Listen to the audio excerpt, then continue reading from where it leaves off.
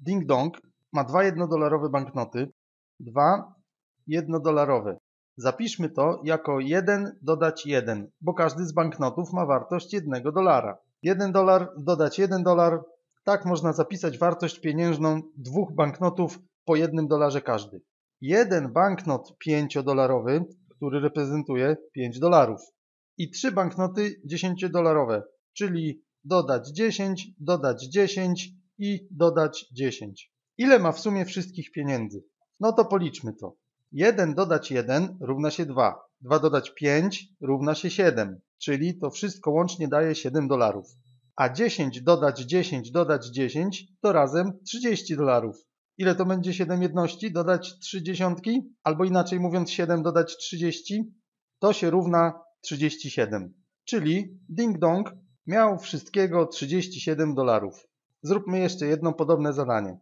Dorota ma 6 banknotów jednodolarowych. Jeden, drugi, trzeci, czwarty, piąty i szósty. To są banknoty jednodolarowe. Dorota ma ich 6. Ma trzy banknoty pięciodolarowe. Jeden, drugi, trzeci. Te kółka w środku to podobizny ważnych postaci historycznych. Na każdym banknocie takie są. Na jednodolarowych banknotach też.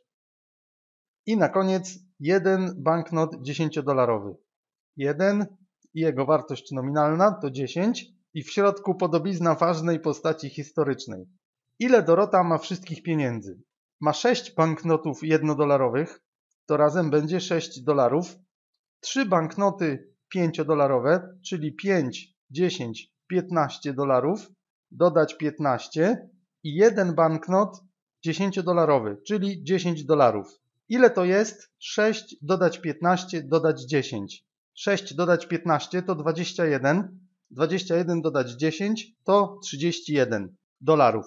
Możemy też dodać te trzy liczby pisemnie. 15 dodać 10 dodać 6, 5 dodać 0 dodać 6 to 11, czyli jedna jedność i jedna dziesiątka. I w kolumnie dziesiątek mamy trzy dziesiątki, czyli razem 31 dolarów.